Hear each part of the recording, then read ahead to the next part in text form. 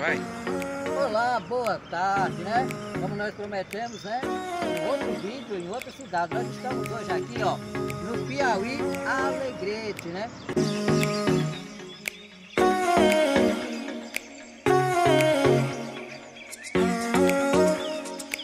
É, dessa vez nós temos uma convidada muito especial aqui. É isso, agora está o pai e a mãe do Paulo Luandes aqui, né?